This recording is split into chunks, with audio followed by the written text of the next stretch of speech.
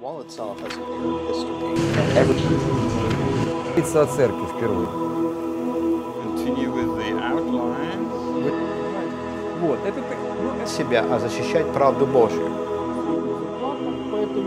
Это классическая история. Люди Время стал Антиох Эпифан.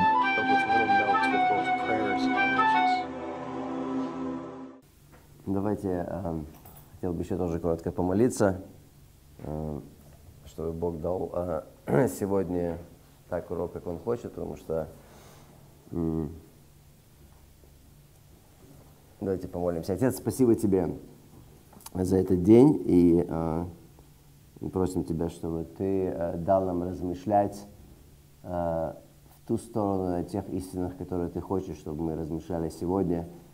Господи, Ты знаешь сердца наши, они открыты перед Тобою, и, и, дай мне передать тот материал, который Ты хочешь, чтобы я передал, Боже, э, то, что будет правильно на этот момент, на это время и в точности для наших сердец во имя Господа нашего Иешуа.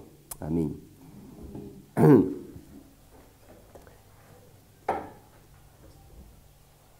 Эм,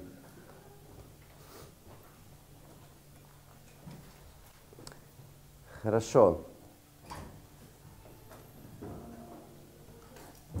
Дилемма, если все-таки повторять предыдущие дни или нет. Но думаю, немножко вернуться все-таки, потому что я дал э, материал, я не знаю, как он вам показался. все просто, все ясно или очень сложно. Я не знаю, скажите, вот, скажем так, может быть, после трех дней, может, какую-то вашу, вашу реакцию по поводу материала. Мне просто интересно. Или, может быть, э, э, вот после того, как вы прослушали три дня, я пытался в такой сжатой форме э, дать принципы душепопечения.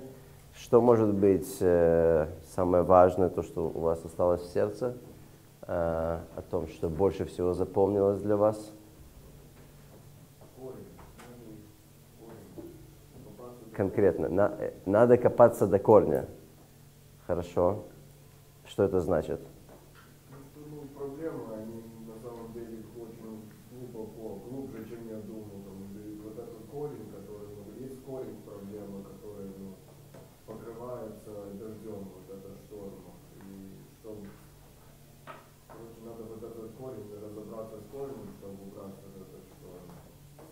Ну, это я. М, Надо разобраться с корнем, чтобы убрать шторм. Может быть, не совсем, чтобы убрать шторм, а правильно, чтобы правильно поставить диагноз. Да, спасибо, чтобы правильно поставить диагноз проблемы. Потому что шторм может не переставать. да. Если мы хотим избавиться э, от э, внешних событий, то есть от внешних штормов, от обстоятельств, но не всегда э, Бог избавляет. Да? Например, апостолу Павлу Бог сказал, достаточно для тебя моей благодати. Он просил Бога избавить его. И он даже сказал, что он допустил ангела сатаны удручать его по определенной причине. Да? То есть он даже говорит, я оставляю тебе некоторые немощи, слабости, а, окей, для того, чтобы ты, будучи в немощи, опирался на меня. Ну, не совсем то, о чем мы здесь говорим, э, но все-таки Бог может оставлять события, обстоятельства внешние, которые давят на нас и хочет, чтобы мы не события изменились, а мы изменились. То есть, чтобы мы увидели, где в нашем сердце есть песок, где есть камень, да? Хорошо, что еще вы запомнили? Для себя взяли, может быть, самое практичное. Ну, в целом весь материал очень интересный и инспирированный. То есть хорошо запоминается благодаря тому, что э, везде идут какие-то схемки, иллюстрации или какие-то такие инструменты, которые легко запоминаются. И даже если там не будут под руками конспекта или чего-то, то можно, в принципе, по схеме вспомнить о том, о Окей. чем шла речь. Хорошо, по схеме можно вспомнить. И я думаю, что еще много вот, э, и другие тексты можно будет объяснять какими-то домиками и э, вот такими такие, есть- схемы можно придумать для, для многих, я думаю, текстов из Для ситуации, окей, хорошо. То есть можете использовать иллюстрации, да? Хорошо. Что еще? Мария, то есть из того, как мы пытались помочь Марии, что еще для вас было интересного, необычного, нового? Что-то, что вы можете к себе применить. Может быть, не сразу, но Неправильное поклонение приводит к неправильному мышлению. Окей, хорошо, неправильное... Да. Окей, вот эта цепочка, да? То есть с какого места писания это мы взяли, помнишь? Римлянам 1, да. То есть неправильное поведение всегда указывает на источник, который есть неправильное поклонение, да? То есть неправильное поклонение вначале изменит наше мышление, затем изменит наше поведение. То есть мы сказали, чтобы до того, как человек согрешил, он должен поверить лжи, да, то есть должно быть искажено его мышление. Он поверил лжи, потому что где-то он начал поклоняться не Богу, да, где-то было сокровище, ценность, которая стала для него в его сердце идолом. Что-то захватило его сердце.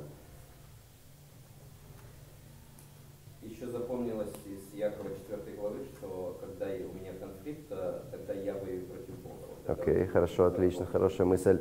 Когда у меня конфликт, я в действительности воюю не просто против человека, я воюю против Бога. Почему? Стихе написано. Само в стихе, ну да, в принципе, прелюбодеи и прелюбодейцы. То есть конфликт вызван тем, что у Марии конфликт с мужем, да, она видит в муже проблему. Она приходит к нам на встречу и говорит, моя проблема с мужем, помогите мне, молитесь за меня, чтобы мой муж изменился. Мы понимаем, что конфликт Марии по-настоящему он вертикальный, вражда против Бога, да? Э, Конечно же, мы не будем, то есть для чего мы разбирали, для чего мы три дня потратили, чтобы разобраться с Марией. Она приходит, и можно сразу сказать, короче, Мария, ты идолопоклонница, враждуешь против Бога, да? Она на нас посмотрит, скажет, ну спасибо, помогли, утешили. Да? А, то есть почему а, это такой длинный процесс. Если действительно мы хотим помочь людям, конечно же, э, помните, мы не всегда, нам понадобится долго времени, да, мы можем понять, что человек готов, да. Но главное, что я хочу вас побудить, это задавать вопросы. Да? Задавать вопросы и слушать человека, да. То есть человек приходит, высказывает что-то. Если вы не поняли, подумайте, поразмышляйте, какие вопросы вы можете задать, чтобы понять Марию, чтобы понять ее сердце. Поэтому вот э, э, я вам эти вопросы, верю, небольшой ресурс. Э, когда я часто разговариваю с людьми, я э, вопросы на странице, странице 9, да, на странице 9, вопросы сердца. Это, это очень хороший ресурс. Э, мы помним, что э, даже если вы, э, если даже вы ну, не помните все детали и так далее, но мы понимаем, что есть ситуация, человек как-то реагирует, да, и мы пытаемся понять, почему человек поступает, как он поступает, да. Можно просто молиться даже, я часто тоже не, не имею, как бы просто молю, Господи, дай мне задать правильный вопрос. Я молю, какой вопрос мне надо задать, чтобы мне понять, что сейчас, что происходит в сердце у человека, да, то есть, и э, я понимаю, это какой-то опыт, но и тоже мудрость от Бога, какой вопрос задать, потому что задать правильный вопрос – это 80% уже. Знаете, консультанты даже в бизнесе, да, кто такие умные консультанты? Это не те, которые э, дают правильный ответ. Это, знаете, консалтинговые компании, некоторые думают, они ждут, вот они придут, там, компания, да, то есть там проблемы, и вот они придут и скажут вам ответы. Но по-настоящему э, настоящие консультанты – это те, которые умеют задавать правильные вопросы, потому что правильно поставленный вопрос – это уже 90% правильного ответа. Да? Поэтому э, мне более нравится, как я уже говорил много раз, стараться э, не давать человеку какие-то ответы, потому что это тоже, опять же, Ишуа постоянно задает вопросы э, людям, э, вопросы на вопросы, и тоже притчи, да, интересно, не дают какого-то ответа. То есть люди его спрашивают, он говорит, а я вам расскажу притчу. Да? И рассказывают притчу там про работников. А что вы думаете, что сделает там хозяин да, с этим? А что вы думаете? То есть, и вроде бы нет ответа, но по-настоящему притча красива в том, что она заставляет человека задуматься, да? она заставляет человека, он уходит, как сказать, то есть иллюстрация образа, ага, интересно, он размышляет. И, в общем-то, э, часто люди хотят, может быть, получить иногда от нас ответы, как бы рыбу, но, нам, но иногда важно дать им удочку, да. Пусть идет и думает, и пусть Бог сам говорит к его сердцу. Потому что я такое заметил, что э, Опять же, почему мы вам показывали вот эту скалу, да? Э, последняя иллюстрация. Так долго, вот так мы шли, спрашивали, да? Люда заплакала даже, вот как так вживую. То есть, почему это такая долгая была иллюстрация? То есть, это, ну, как бы э, пример того, что э, мы пытаемся постепенно, это э, в действительности, э, как если мы хотим помогать служить людям, то мы действительно врачи, и такое душепопечение – это как духовная операция – Okay? Это как операция на сердце. Да? По-настоящему никакому человеку неприятно, когда вообще лазят в его организме. Да? да, тем более, если лазят в его сердце. Да? Обычно людям это не сильно нравится. Поэтому, конечно же, сразу залезть ему в сердце, начать ковырять, и особенно там ему пальцем там показывать, что у него, это никому не нравится, да? Это никому неприятно. А, но как духовная операция и, знаете, я понял, что Господь, Он такой же, Он любящий. Он не убивает сразу, там, не приходит и посмотри, какой ты грешник, тебя лицом ну, об face up table, да.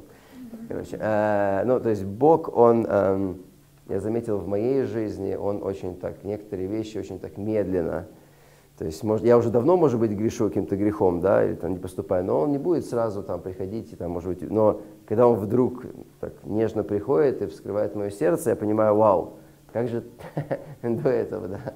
Э, ну, то есть я понимаю, что он это делает нежно, э, не хочет э, э, как-то меня сразу убить. Э, и мы милостиво относимся к людям, стараемся, да, и душепопечение – важно сострадание, милосердие. Когда человек видит, что вы ему сострадаете, когда человек понимает, что вы действительно понимаете, как ему больно, что вы не праведник, который такой крутой, честный и святой, но вы, в принципе, на том же уровне с этим человеком, тогда вы очень медленно ну, продвигаетесь в этой духовной операции и стараетесь э, задать ей вопросы, которые сами помогут ей э, встретиться с Богом. Да? Э, хорошо. Э, э, интересно, мы пели эту песню в конце, меня очень коснулось, что Божья любовь больше наших надежд. И, и действительно я подумал про Марию, ну и про себя, про, про каждого человека.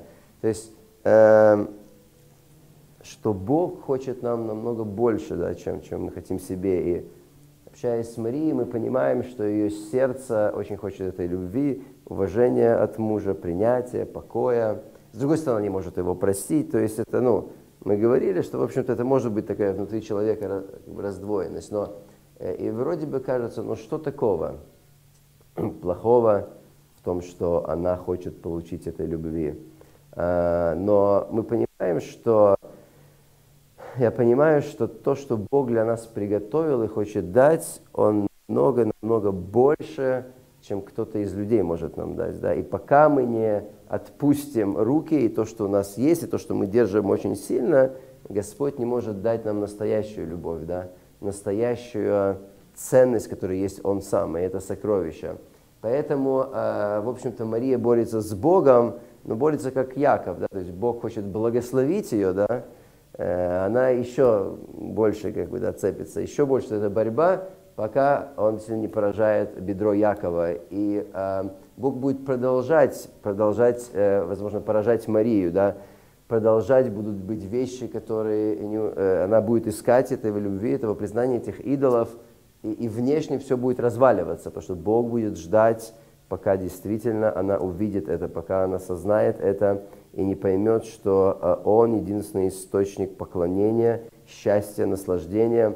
Э, Мне нравится место э, 15 Псалом, где написано э, «блаженство в Его руке и э, наслажд- наслажде- э, на иврите милосова, э, полнота радости перед лицом его, и счастье в руке его.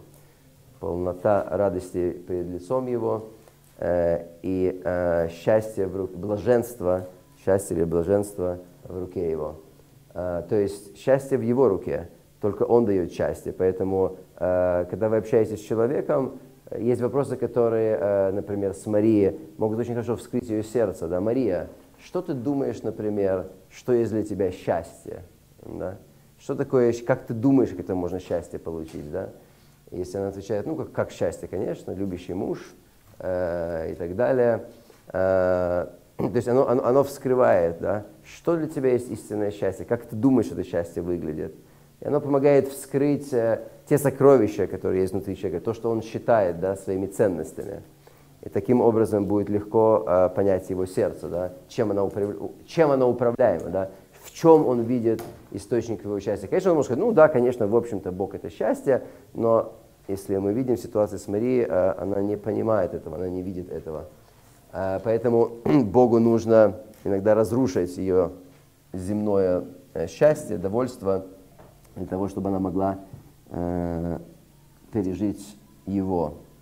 Я думаю, что верю, что каждый из нас в какой-то стадии, э, в какой-то степени пережил это, понял. Если еще не пережил, то Господь даст это пережить. А, хорошо.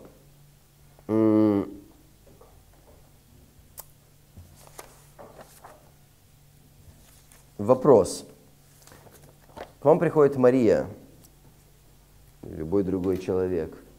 Вы видите э, разваленную жизнь человека. К вам приходит человек, э, и вы видите, что, например, ну, у него он болеет долгое время, он, э, жена его бросила, он приходит, он сидит, и ему очень тяжело, и вообще, скажем так, э, и он достаточно сетует э, на Бога, не понимает Его.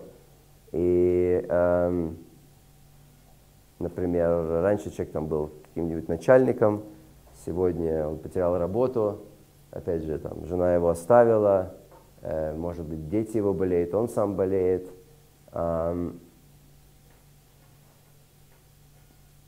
Каким выводом мы можем прийти по поводу этого человека?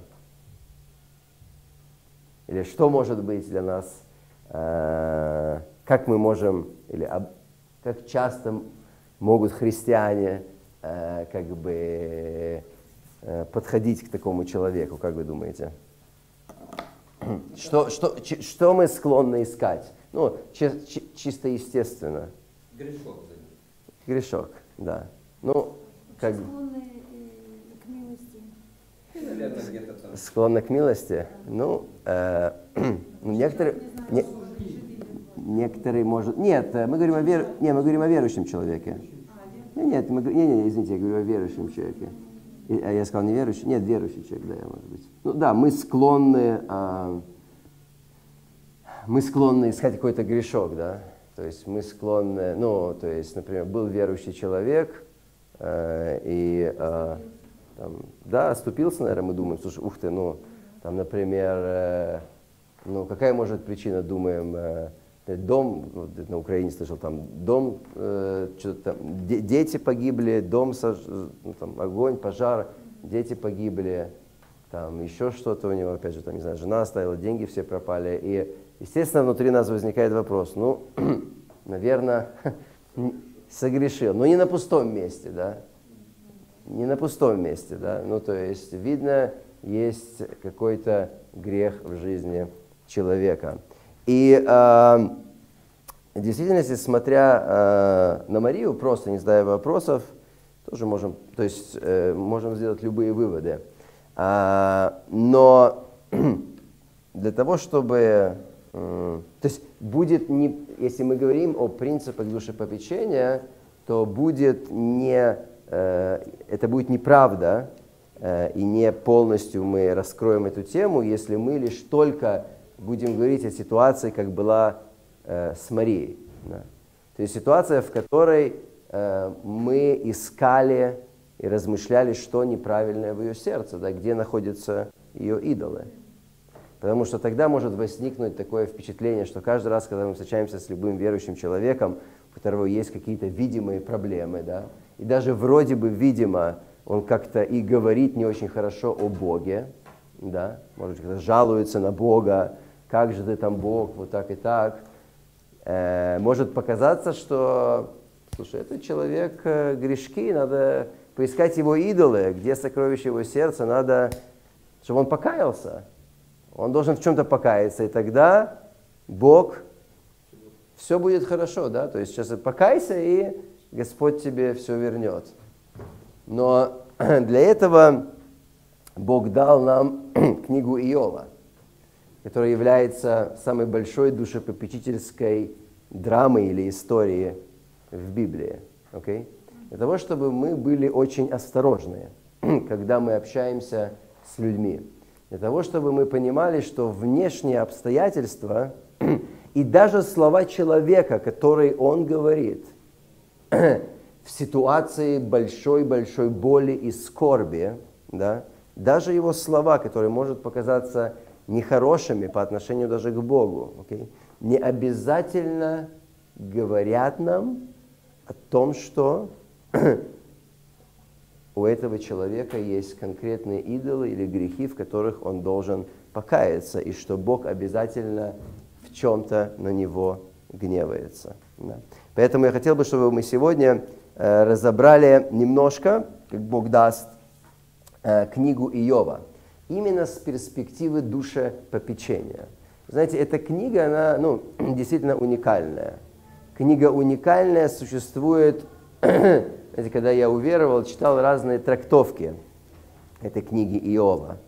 И я не знаю, скажем так, что вы читали, какие вы трактовки читали, э, но я, скажем так, э, был убежден в том, что э, Иов был достаточно ну, самоправедный человек, который много выставлял свою праведность, пытался доказать ее Богу. И и как бы в этом была его проблема, и в этом ему нужно было покаяться в самоправедности, да, в каком-то фарисействе, может быть. Не фарисействе, но в самоправедности. А, но я хотел бы, чтобы мы сегодня взглянули на эту книгу и разобрали э, вот, вот то, что в ней происходило, и посмотрели, и э, постарались научиться э, хорошему и плохому из этой истории душепопечения. Okay? А, прежде всего, прежде всего, давайте а, попытаемся понять, а, как бы, ну, что происходит в этой книге. На страница, страница 14.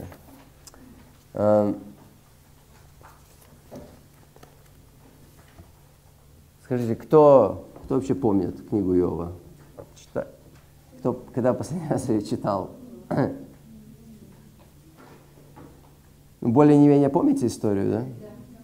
Да. Окей, okay, хорошо. А, давайте прочитаем. Начнем читать на странице 14. А,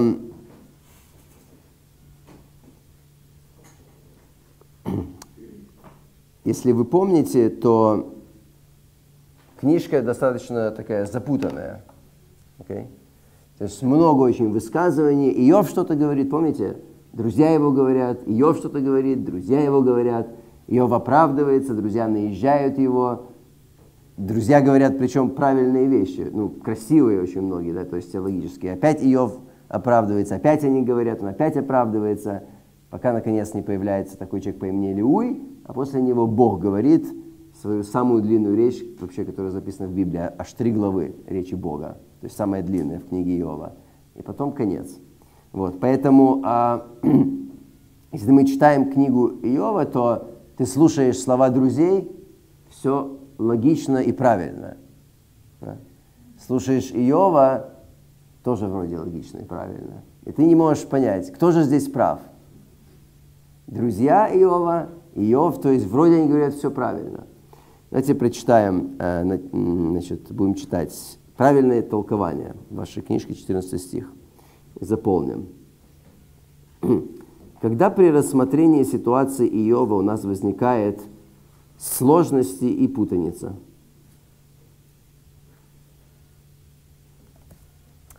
Сложности и путаница. Божье полное и ясное толкование в начале и в конце книги упорядочивает наше мышление и направляет наши суждения. Божий вердикт. Божий вердикт в начале и в конце книги дает нам очки. Очки. Через которые мы должны смотреть на малопонятные высказывания. Малопонятные высказывания, которые заставляют критиков много трудиться. То есть книга Иова выглядит примерно вот так. У нас есть, сейчас его прочитаем, первые две главы. Это эпилог. Эпилог. Затем, тут все ясно. Бог разговаривает, затем целые там, 42 главы путаница. Назовем ее э, душепопечительская путаница. Душепопечительская путаница. Почему душепопечительская? Потому что приходят три друга душеопекать Иова. Да? Пришли, то есть человек находится в огромной проблеме, в горе, они приходят, и я начинаю с ним разговор. Душепопечительский разговор. Приходят, как мы с вами сейчас посмотрим дальше, серьезные служители, серьезные пастыра, серьезные лидеры. Это были серьезные очень люди. Да? Сейчас посмотрим. То есть из их описания это не были просто такие ребятки. Это были епископы, хотите, да? То есть серьезные служители приходят и разговаривают с Иовом, пытаются его душа опекать. А, И там много непонятного. Но в конце есть пролог. Пролог в конце, ну, да. И тут все ясно. Поэтому для того, чтобы понять, что происходит вот здесь посередине, чтобы понять эту книгу, нам нужно четко и ясно понять, что происходит в начале и что происходит в конце. Окей? Поэтому эм, давайте прочитаем с вами вначале первые две главы этой книги. Давайте, кто хочет громко прочитать, чтобы у меня остался еще голос. Первые, просто первые две главы. Был человек в земле имя его Иов. Был человек этот непорочен, справедлив и богобоязнен. Он удалялся от зла. И родились у него семь сыновей и три дочери. Имение у него было семь тысяч мелкого скота, три тысячи верблюдов, пятьсот пар волов и пятьсот ослиц. И весьма много прислуг. И был человек этот знаменитее всех сынов Востока. Сыновья его сходили, делая пиры каждый в своем доме в своем доме. И посылали, и приглашали трех сестер своих есть и пить. Когда круг пиршественных дней совершался, и он посылал за ними и освещал. И вставая рано утром, относился к сожжению по числу святых. Ибо говорил ему, может быть, сыновья мои согрешили, похвалили Бога в сердце своем. Так делал со следующим днем. И был день, когда пришли сыны Божии предстать пред Господом. Между ними пришел сатана. И сказал Господь сатане, откуда ты пришел? И отвечал сатана Господу и сказал, я ходил по земле и обошел. И сказал Господь сатане, обратил ли ты внимание твое на раба моего Иова? Ибо нет такого, как он на земле. Человек непорочный, справедливый, богобоязненный, не удаляющийся от Бога. И отвечал сатана Господу и сказал, разве даром бог- богобоязнен его? Не ты ли кругом оградил его, и дом его, и все, что у него? Дело рук его ты благословил, и стада его распространяются по земле. Да прости руку твою и коснись всего, что у него, благословит ли он тебя? И сказал Господь сатане, вот все, что у него в руке твоей, только на него не простирай руки твои. И отошел сатана от лица Господа. И был день, когда сыновья его и дочери его ели и вино пили в доме первородного брата. И вот приходит вестник Иова и говорит, Волы орали, и ослицы паслись подле них, как напали совияне, и взяли их. А отроков поразили острел меча, и спасся только я один, чтобы возвестить ее. Еще он говорил, как приходит другой и сказывает, огонь Божий упал с неба, и опалил лес и отрока, и спасся только я один, чтобы возвестить тебя. Еще он говорил, как приходит другой и сказывает, халдеи расположились тремя отрядами и бросились на и взяли их, а отроков поразили острел меча, спасся только я один, чтобы возвестить тебя. Еще этот говорит, приходит другой и сказывает, сыновья твои, дочери твои ели и вино пили в доме первородного брата своего. И вот, большой ветер пришел от пустыни, укрепил четыре угла дома, и дом упал на окна, и они умерли. И спасся только я один, чтобы возвестить тебе. Тогда я встал и разодрал верхнюю одежду свою, востриг голову свою и пал на землю, и поклонился. И сказал, Нать я вышел из чрева матери моей, нать и возвращусь. Господь дал, Господь взял. Да имя Господня благословено. Во всем этом не согрешил его и не произнес ничего неразумного от Бога. Был день, когда пришли сыны Божии предстать пред Господа. Между ними пришел и сатана предстать пред Господа. И сказал Господь сатане, откуда ты пришел? И отвечал сатана Господу, и сказал, я ходил по земле и обошел ее. И сказал Господь сатане, обратил ли ты внимание твое на раба моего Иова? Ибо нет такого, как он на земле. Человек непорочный, справедливый, богобоязненный, удаляющийся от зла. И доселе тверд своей непорочности, а ты возбуждал меня против него, чтобы погубить его без. И отвечал сатана Господу и сказал, кожу за кожу от жизни свою отдаст человек, а за жизнь свою отдаст человек все, что есть у него. Но простри руку твою и коснись кости его и плоти его, благословит ли он тебя. И сказал Господь сатане, вот, он в руке твоей, только душу его сбереги. И отошел сатана от лица Господня, и поразил его во проказу лютую, от подошвы ноги его по самое колено. И взял он себе черепицу, чтобы скоблить себе и сел с. И сказала ему жена его, ты все еще тверд непорочности твоей, похули Бога и умри. Но он сказал, ты говоришь, как одна из безумных, неужели доброе мы будем принимать от Бога, злого не будем принимать? Во всем этом не согрешил его устами своими. И услышали трое друзей Иова о всех этих несчастьях, постигших его. И пошли каждый из своего места. Элифаз, э, Саманитянин, Вилдат, Сархиянин и Сафар, Наамитянин. И сошлись, чтобы идти вместе, сетовать и утешать его. И подняв глаза свои издали, они не узнали его, и возвысили голос. И зарыдали, и разодрал каждый верхнюю одежду свою, и бросали пыль над головами своими. И сидели с ним на земле семь дней и семь ночей. И никто не говорил ему ни слова, ибо видели, что страдания его весьма велико. Мгм. Спасибо. Ам,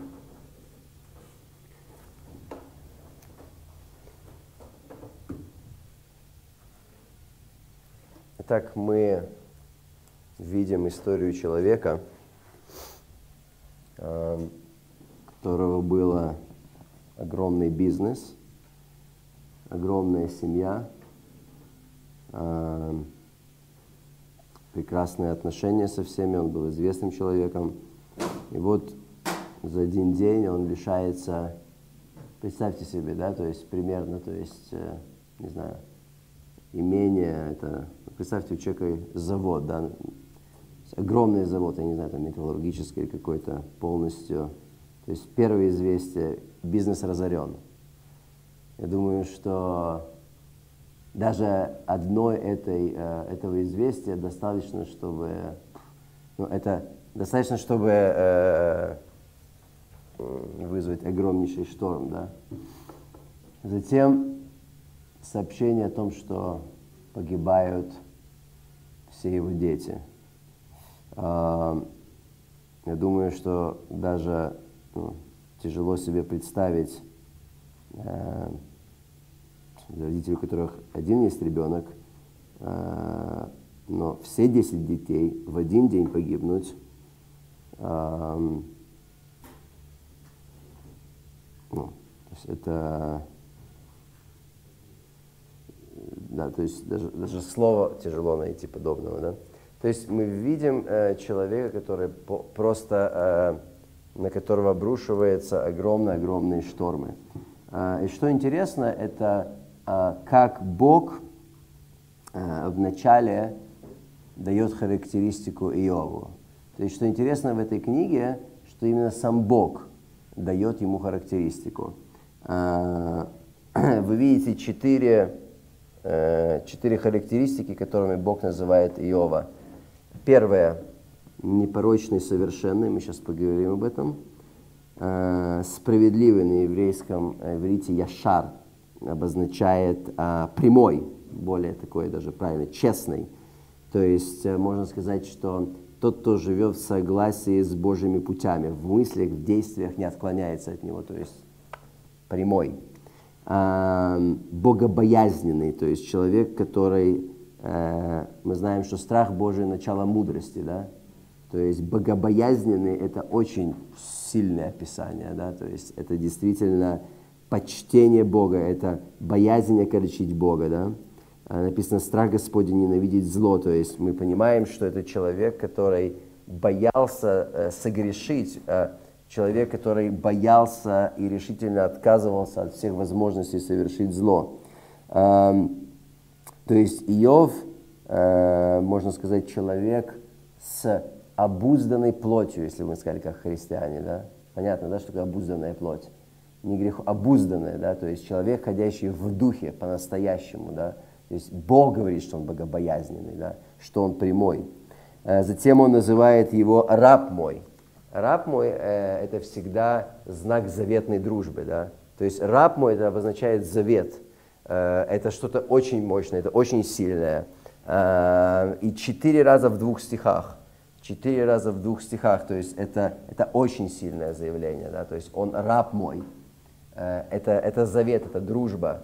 Э, То есть э, подобными именами, только ну, что-то близкое Бог называл там Авраама, Давида, но даже вот всеми этими именами, мне кажется, практически никто не назван в Библии. То есть очень-очень мощные имена, э, какими Бог называет Иова. И э, особенно интересно слово «там». Э, очень интересное слово «там». Оно очень важное для понимания не только книги Иова, но вообще многих концепций в Библии. Слово «там». Можете записать это слово «там».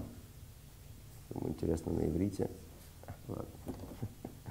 Эм, Что значит такое слово «там»?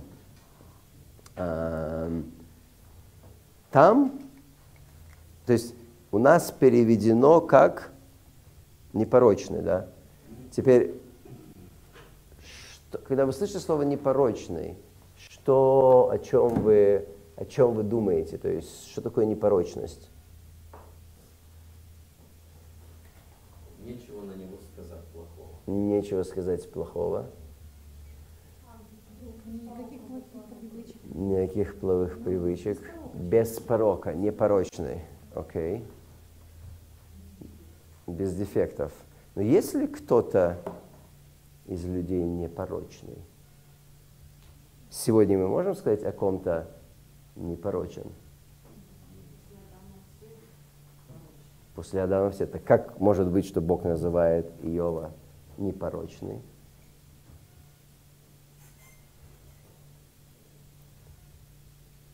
Вы задумывались об этом? Как это может быть? Есть еще другие люди, которые тоже называли непорочным. Написано о Ное, что он был непорочен перед Богом. Своем поколении, окей. Праведник, но, окей, э, ну хорошо, а что значит праведник? Как нам понять? То есть непорочный и безгрешный – это то же самое. Какая разница? Это очень, это очень важно, интересно это. Как? Непорочное – это внешнее То есть внешне он может все быть красиво, а внутри гнилой. Нет, человек, который Но. умеет э, справляться со своими пороками и живет правильной Окей, Но это не то же самое. Ну, после Адама вроде бы никто не безгрешный. Были же праведники. А, так безгрешный и непорочный. Как, то же самое. Ра- так а в чем, то есть, Старается жить старается жить, окей. Старается, а справился со своим. То, что я сказал, обуздал свою плоть, да. Мы, а? Верен Богу. Ну, язык не обуздал, потому что против Бога разговаривает. Язык не обуздал. Но Бог, смотрите, обратите внимание, Бог его называет там. То есть этим словом он не порочен. Бог его называет непорочен. А сегодня можем ли мы кого-то назвать этим словом там, специально, ну как бы вот это на иврите, да? Там непорочный сегодня есть кто-то непорочный? Мы? Его праведностью. То есть, если, но это, что это значит, если мы, то есть мы все такие, Но там будем так. там будем там. Ага. Хорошо.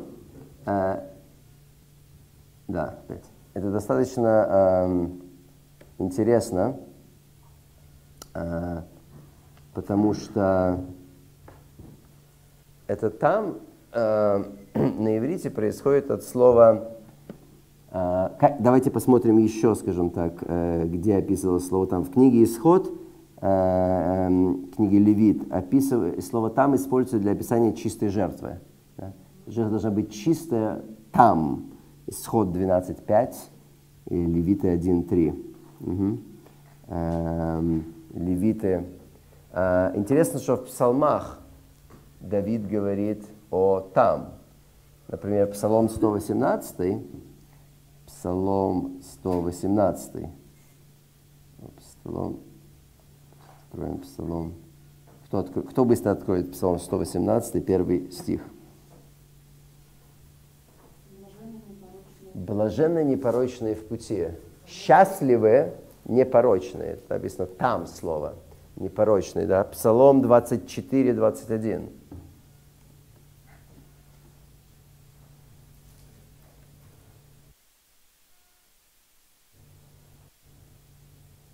Псалом 24, 21. Непорочность и правота да.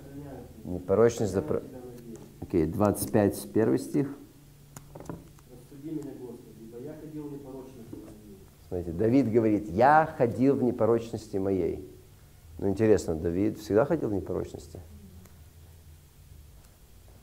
Знаем, что были у него серьезные грехи, да? Очень даже, да? Там. Иной и Авраам назван там, непорочный.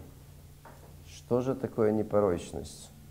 Как она связана с нами сегодня? Ответим на это после